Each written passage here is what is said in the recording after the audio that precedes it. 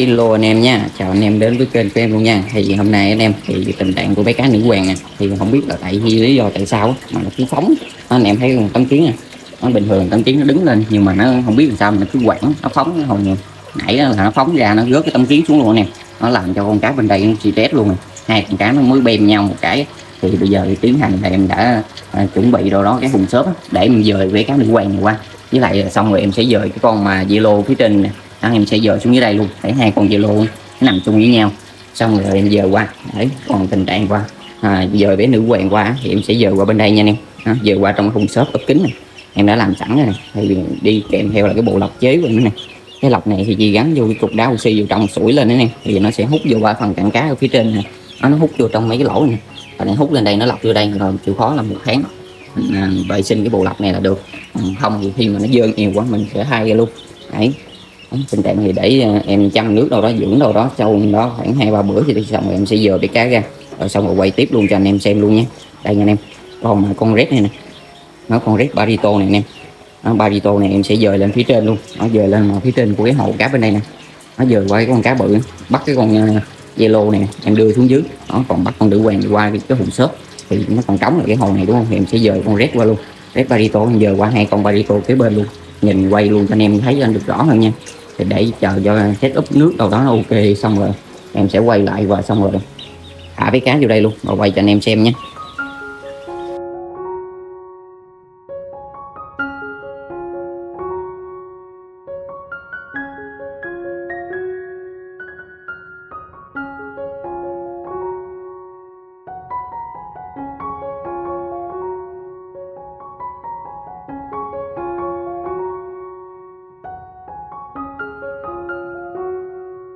Hello anh em nha. Thì bữa giờ thì em đã set up cái hùng xốp đâu đó này với lại tự nước cũng đã được mấy ngày anh em.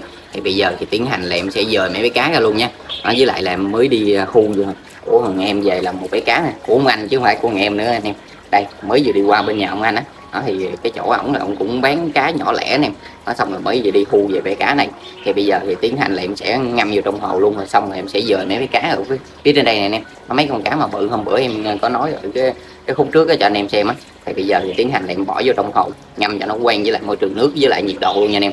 Hồ thì em sẽ bỏ vô trong cái hồ mà của cái con cá mà hôm bữa là em ờ, chia lại cho, tặng cho anh em ờ, cháu anh em. Đó, cái hồ là ngay đây nè. Thì bây giờ tiến hành là em sẽ thả vô, rồi ngâm cho nó quen với lại môi trường nước nhiệt độ luôn nha anh em. Thì tình trạng của bé cá này, để cho anh em xem nha. Đấy. bé cá thì nó sẽ là như vậy nha.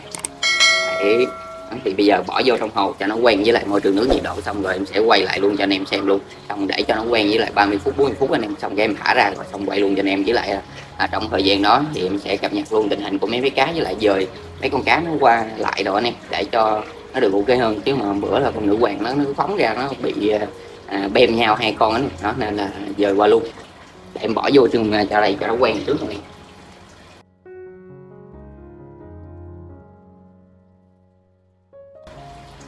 Dạ. rồi ok để em quay lại nha anh em. Quay lại cho anh em xem luôn mấy cái cá như thế nào cập nhật luôn cho anh em tình hình của mấy cái cá luôn nha. Xong rồi em sẽ dời mấy cái cá qua. Đây nha anh em. Thì bây giờ em mới bắt đầu là em sẽ à, dời con nữ hoàng qua trước anh em. Đây dời con nữ hoàng qua trước. Xong rồi em sẽ dời luôn cái con barito này qua. Xong vậy bữa nữa em sẽ kiếm một con à, yellow rồi về để phôm và tích giống như là con cá bên kia luôn nha anh em. Đấy con barito này em sẽ dời lên trên. Đó, dời lên trên cái hồ trên đây nè đó, để cho hai con barito để kế bên luôn nha anh em. Đó con barito bên đây xong rồi em sẽ dời con này xuống dưới đây để tại nãy. Em lúc mà làm anh em thì nó quậy hồ cái nước nó hơi đục một xíu xong cái làm con cá bên đây bị sự đét luôn.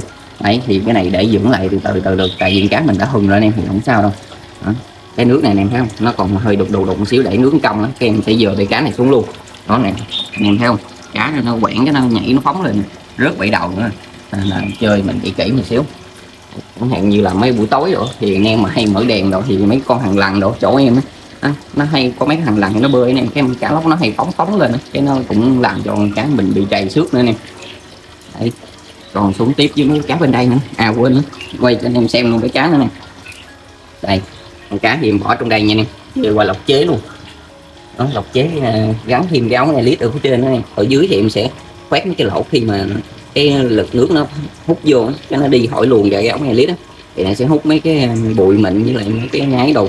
Còn khi phân cạn cá thì nó không hút được nha anh em. Nên là mình chịu khó mình hút hút bằng tay. Còn bây giờ ngâm cá trong đây cho nó quen với lại môi trường nước nhiệt độ. Đây. còn qua bên đây cho anh em xem là con cá nữ hoàng nữ hoàng bị cong quẹo quá nè.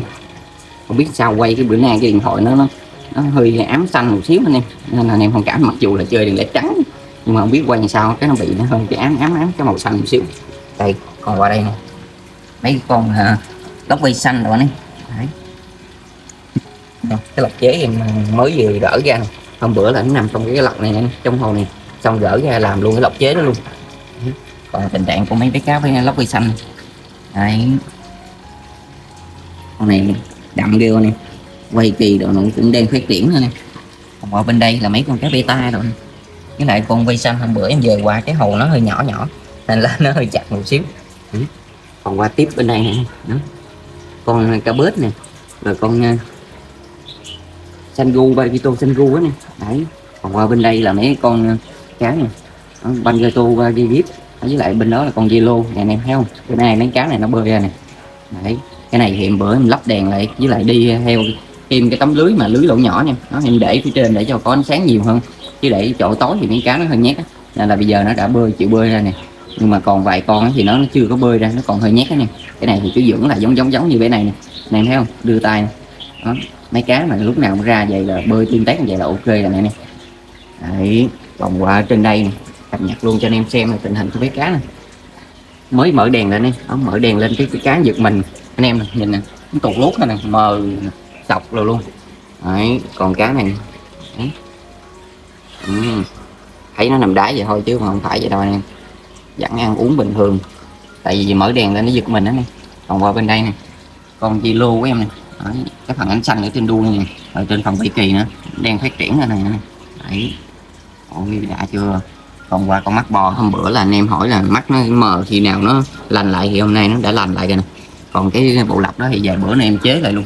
Nó làm theo cái bộ lọc giống như hồi nãy anh em chứ để mà lọc này thì nó dơ nước á, cái nó cũng nằm ở mấy ngoài thì nó dễ dơ hơn. Và cái nguồn nước của mình nó dễ bị vấn đề hơn anh em cái này thì chơi thì chịu khó là anh em phải vệ sinh thường. Còn mà chơi theo kiểu giống như là mấy cái lọc này á thì khi mà nó dơ dơ giống như vậy anh em đem đi giặt là vừa. Hoặc là anh em tái sử dụng lại cũng được nó rửa ba cái bông lọc lên cho nó sạch sẽ lại là được. Chứ để mất công giống như là mấy cái lọc này nó vẫn hút vô nó vẫn ấy anh em thấy không? Nó vẫn được á. Nhưng mà nó, nó kiểu như nó nằm ở mấy ngoài thì cái nước của mình nó dễ bị vấn đề hơn. Còn qua bên đây là còn mấy bagito này. Bagito với lại là con cá bớt rồi cũng được nó còn bên đó là xăm bít. Dạ, sẵn cập nhật luôn cho anh em xem mấy cái cá mini này. mấy cá mini thì à, dẫn đen cho nó ăn trùng chỉ nè anh em thấy không đây dẫn đen cho ăn trùng chỉ với lại à, đèn thì em đang sử dụng qua cái đèn cái này thì nó hơi ngắn một xíu anh chứ cái này nó bự bự một xíu nữa thì nhìn cái hồ nó sẽ sáng hơn Đấy. còn xuống dưới đây nè xuống dưới đây thì con cá này con này thì nó để hai bên đó. cái nó, nó lầu lầu cái nó nó bị tươi tươi tươi còn đuôi nhưng mà cái này dưỡng này là được cái nó làm cho con cá bên đây nó nhét luôn còn còn bên đây thì sung thì sung. Anh em thấy phần bờ tích không? Nó bắt đầu nó sáng và nó xanh lên. Đấy, cái phần dưới này anh em thấy nó lên cục cục cục cục không? Đấy bây giờ nó chị bơi rồi này. Đấy. Đã lắm anh em. Nó còn mà bé cá mà hôm bữa mấy anh em kêu em cập nhật về cái cắn à, sau khi mà sử dụng qua là cái cắm Blegadat này anh em. Đây cho anh em xem luôn con này. Đấy. Sử dụng qua cắm Blegadat này để chơi gì vấn đề và tích cho bé cá của mình đấy. còn bên đây nữa nè, anh em thấy không? Đã không? Cực kỳ đã luôn. Còn qua bên đây nữa, con này nói chung là riêng về cám thì nó cũng tùy vào con cá nó ăn, nó hấp thu nhưng mà mấy con thì nó hơi chậm, chứ có con nó hơi chậm, có con thì lên nhanh đấy nè đây, anh em thấy không? Cho ăn cám thì cái sọc đường cái nó đậm hơn. Đấy. qua đây nữa nè. Thấy đã chưa? Còn qua bên đây con này thì nay nó đang lên viền luôn này nè con này. Con uh, cà ti găng anh em thấy cái đại chữ cà ti găng. Cái lọc này lâu ngày anh em cái cái kiểu như mà nó có cái chất nhờn nhựa đầu ra cái nó rớt rồi luôn để chút nữa em lắp lại. Còn qua bên đây Đấy. chăn trâu đen hay phim. Ok luôn nha anh em. Thì để ra lấy kiếm mới trùng đi rồi xong rồi à, đi ra ngoài cho mấy cái cá ăn luôn. Rồi trời mưa tới luôn anh em chờ em xíu nha. Để có gì à, cho nó quen với lại môi trường nước nhiệt độ tầm 30 phút 40 phút xong rồi em kiếm à, thức ăn gì đó xong rồi em quay cho anh em xem luôn nha. Còn mấy cái cá nó ăn. Đây này nha anh em. Thì bây giờ em đã chuẩn bị đâu một mớ cá mồi này thì bây giờ lâu lâu rồi thì cũng bổ sung kèm theo là mấy cái cá mồi này cho mấy bé cá nó ăn luôn anh em. Đó, thì cái này thì em không có quay được rõ cho anh em xem nha. Nó cứ quay vậy rồi bỏ vô. Còn xong rồi cho mấy cá nó ăn chứ không có quay được rõ là cái lúc mình bắt cá nha anh em. Đấy, xong rồi vớt bỏ vô thôi cho cá nó ăn.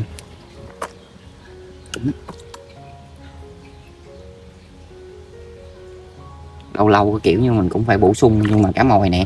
Thì khi mà anh em cho ăn là anh em phải nhớ là à, vệ sinh nha anh em. Chứ để mất công là nó mang nhiều cái mầm móng bệnh tật đồ cho mấy cá của mình nha anh em. Đấy.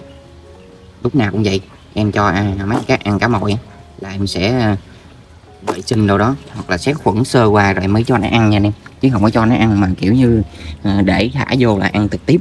Mua ở ngoài tiệm cá về thì nó cũng nói chung là cũng mang nhiều mầm bệnh lắm nên là mình chơi kỹ, mình rửa sạch rồi cho cá ăn là đẹp. Chứ đây mắc công rồi nó ăn nó không tiêu hóa được thì lúc đó dễ toan lắm. Và tới tiếp bé cá hoàng cống này. Lá này của à, cái lá của cái cây mà, cây cành ha nè cái này thì chơi nước nó ra nước nó cũng đẹp lắm. Ra cái nước màu nó cũng đỏ đỏ đỏ đỏ. Mấy cá này cũng hít lắm.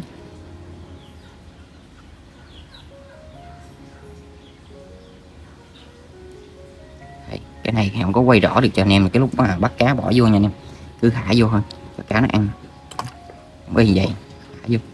Bình thường mấy cá này thì em sẽ cho nó ăn một đến hai con, tùy vào con cá. Nếu mà cá size nhỏ một xíu thì mình cho nó ăn.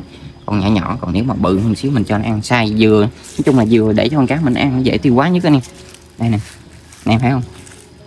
Ấy xong cái rớt vào cái lá xuống, cái đóng khi mà nuôi ngoài trời như vậy nè, thì anh em nhớ là dọn dẹp đồ để nó trong mà nó khuất lại anh em? Nó không có ánh sáng vô thì cá nó cũng chậm phát triển lắm. Đấy.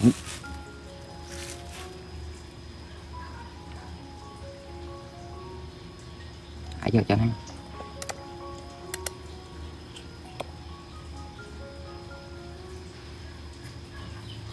Mấy cá nhỏ nhỏ nhỏ thì mình cho nó ăn, mấy cá nhỏ. Còn cá bự thì mình cho nó ăn cá bự chủ yếu là mình muốn cho nó dễ tiêu hóa nhất anh em. Chứ để ăn mà không tiêu hóa được thì dễ toan lắm. Lâu lâu mà cũng thả một, hai con cá vô để cho con cá mình nó săn mồi nữa nè qua tới với cá bên đây nè mấy con này thì phơm qua đây anh em, ba tích rồi đã lắm. Phơm ngoài trời đựng cái thì mấy cá nữa. Có ánh sáng này, nó lên ba tích nhìn phê lắm.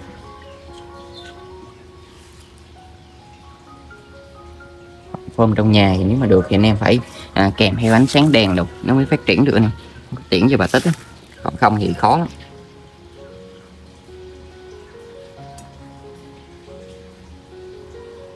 Đấy. tiếp luôn để bên này. Lắm rồi để em qua bên kia xong rồi cho thêm hai con nữa là xong nha nè. Cái con cá này ngoài đây thì nó cũng hơi nhỏ nhỏ nên là cứ cho nó ăn vừa đủ được rồi chứ đừng cho nó ăn no quá. Ăn no quá mất công nó không tiêu quá nè. Là lúc đó mình cực chứ không ai cực hết. Đấy.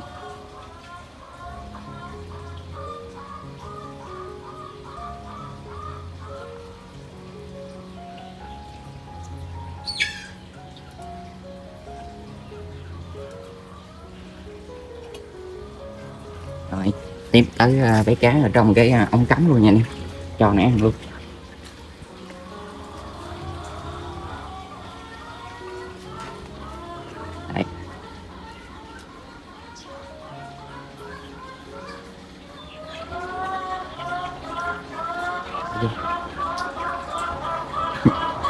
Cái này thì cho ăn một con như vậy thôi anh em, chứ mà thấy qua hai bữa sau mình phải cho ăn tiếp nữa. Nhưng mà cám thì mình vẫn cho nó ăn ăn vô mà mình cho nó ăn cám ít hơn nhưng mà riêng về cám, còn cá trong mén bò trong đây thì bây giờ nó cũng đã chịu bơi nó đã chịu ăn lại cũng được rồi hôm bữa thì nó còn stress đó cái cá trong đây đấy, cho anh em. Đấy. Cho anh em xem nè. Quẩy nó lên nè nè lên vảy được mấy cái nè. Đã không? Rồi còn nhiêu đây nè. Thì thả vô cho mấy cá bự ở trong mấy bò của em ăn luôn nha nè. chờ em xíu để em đi vòng qua cái rồi cho mấy cá nó ăn rồi quay cho anh em xem.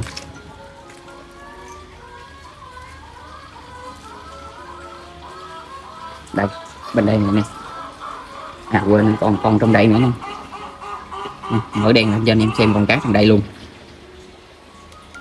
trong đây thì nó lên được ờ, một, hai cái vảy rồi nè. Em đây nè cái cá này nè. Anh em thấy không? Nằm ở đây này. lên được một, hai cái vảy rồi, cũng đã. Nó không bằng so với là con mé ở ngoài này thôi, nhưng mà nó lên cũng đã lắm. Rồi, bây giờ tiến hành là sẽ đổ vô trong đây luôn cho mấy cá bự nó ăn. Chờ em xíu.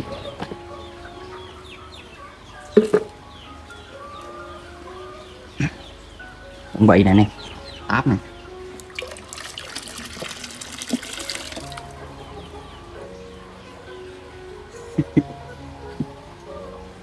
Sao cái gì mà nghe nhẹ nhàng dữ vậy ta?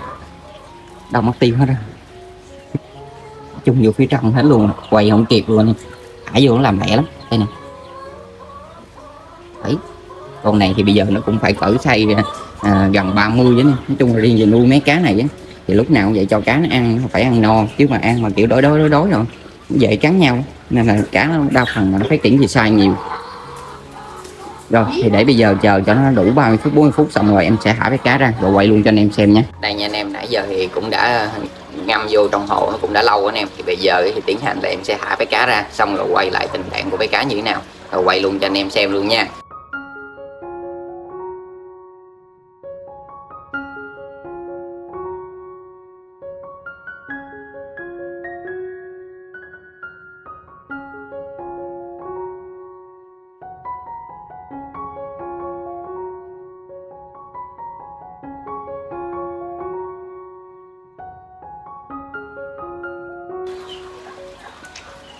Rồi, nãy giờ thì cũng đã bỏ thả bé cá ra thì bây giờ em quay lại cho anh em xem luôn tình trạng của bé cá như thế nào luôn nha. Đây này nha anh em thì tình trạng của bé cá này. Đấy, anh em thấy cái sọc số chín không? Đã không?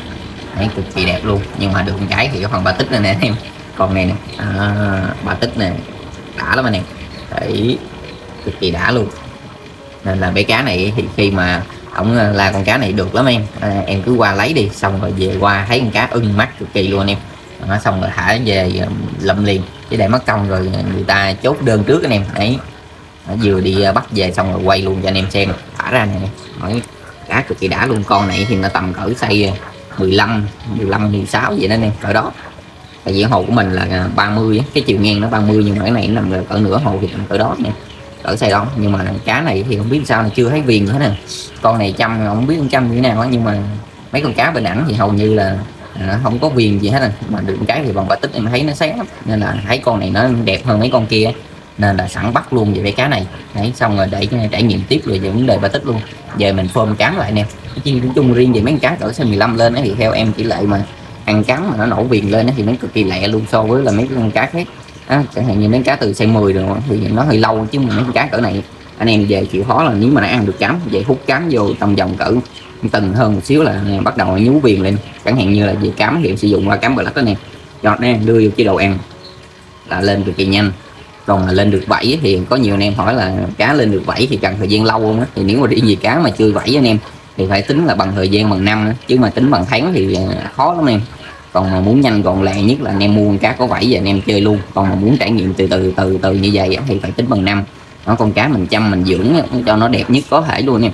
Đó. chứ mà riêng về cá mà, mà muốn lên lẹ thì không có loại cá nào mà à, đùng một phát cái là nó lên liền đâu em. Nói chung là đi về cũng tùy vào con cá nữa. Con cá nếu mà nó ăn nó hấp thu tốt với lại là chế độ anh em hừng á là đặc biệt là khi mà muốn cá nó lên nhanh á thì phải hừng một trăm phần trăm. Lúc đó con cá nó không còn sợ sệt gì á.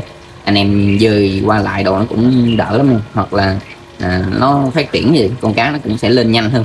Đấy, còn bây giờ thì để em quay lại tình trạng của mấy cá em dời qua nè cho anh em xem này đây con cá này em mới vừa hạ xuống này nè.